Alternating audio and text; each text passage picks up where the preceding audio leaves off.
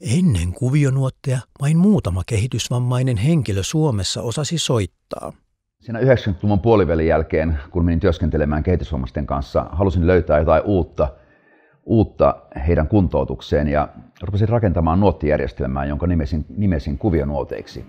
Siihen aikaan ei oikeastaan kukaan, tai ehkä, ehkä kahden käden sormilla voi laskea ne kehitysvammaiset, jotka, jotka meidän maassa – tavoitteellisesti pystyi opiskelemaan musiikin tekemistä tai osasi niin kuin oikeastaan soittaa. Se oli hyvin harvinaista. Ja siihen tarpeeseen tavallaan mä tein kuvionuotit, joka johti siihen, että tällä hetkellä tuhannet, tuhannet taatusti kehitysvammaiset opiskelee ja soittaa, osaa tietää, että näin tämä biisi menee ja osaavat soittaa. Kuvionuotit on nuotinkirjoitusmenetelmä kaikille, joille perinteisen nuottikuvan omaksuminen on vaikeaa tai mahdotonta. Soitettava sävel ilmaistaan kuvionuoteissa eri väreillä. Oktaavialat erotellaan neljän eri muodon avulla. Kuvionuotit menetelmä sopii eri instrumenttien opiskeluun. Se tarjoaa helpon väylän yhteissoiton kokemukseen. Vuonna 1996 mä tein itse semmoisen jonkinmoisen kuvionottikirjan ihan sen takia, että mä halusin kopiraitata sen ja ja tuoda julki, että tämmöinen olemassa. Se oli testikirja, mutta sehän ei kelvannut sitten tietenkään tämmöiseen laajaan jakoon. Ja kun tuli Resonaariin töihin ja Markku Kaikkosen kanssa alettiin pohtimaan, mitä, miten tätä viedään eteenpäin, tätä tuotetta, niin äh, sovin tapaamisen silloisen opikkeen johtajan Raja Kemiläisen kanssa ja keskustelimme siitä, että olisiko tämmöinen tuote asiallista tehdä ja, ja se oli hieno keskustelu. Kehitysvammaliiton äh, silloinen johtaja Raija Äh, mietti kyllä tosi pitkään, että onko tässä mitään järkeä tässä koko hommassa, että mikä tämä juttu on. Mutta hän teki rohkean ratkaisun ja päätti, että tehdään kirja ja katsotaan mihin tämä johtaa. Ja se on ollut kyllä viisas, viisas ratkaisu, minkä hän silloin teki.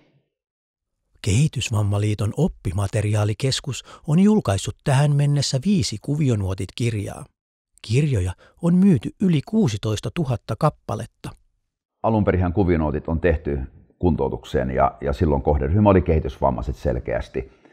Ja eikä alussa ollut oikeastaan ajatustakaan siitä, että tämä leviäisi jonnekin muualle. Mutta hyvin pian siinä huomattiin, että tämä onkin kaikkien väline ja, ja tämä alkoi leviämään ihan tavallisten ihmisten opetukseen. Ensimmäisenä oikeastaan tuli näiden kehitysvammaisten vanhemmat, jotka huomasivat, että heidän lapset oppii soittamaan, niin hekin halusivat oppia soittamaan. Ja sitä myötä tämä alkoi leviämään aikuisväestöön.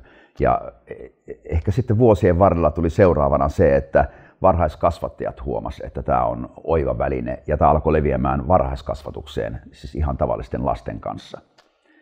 Ja se kohderyhmä vaan laajenee ja laajenee koko ajan. No täällä kehitysvammapuolella ehkä semmoisia merkittäviä äh, ulostuloja on, ehkä kuuluisin Pertti Kurikan nimipäivät, joka on lähtenyt opiskelemaan sitä musiikkia nimenomaan kuvionotti pohjalta, että voi olla, että sitä soittamista ei olisi ehkä opittu ilman kuvionuotteja. Ja Resonarissahan on sitten tietenkin valtava määrä orkestereita, bändejä, Resonari Group muun muassa, joka on oikeastaan jo ammattiorkesteri. Ja sama tilanne siellä, että kuvinoitit on auttaneet heidät siihen soiton alkuun. Musiikin Erityispalvelukeskus Resonaari tarjoaa tänään soittamisen mahdollisuuden yli 300 henkilölle, joilla on oppimiseen tai vuorovaikutukseen liittyviä erityisvaikeuksia. Resonaari on yksi Helsinki-mission toimintamuodoista.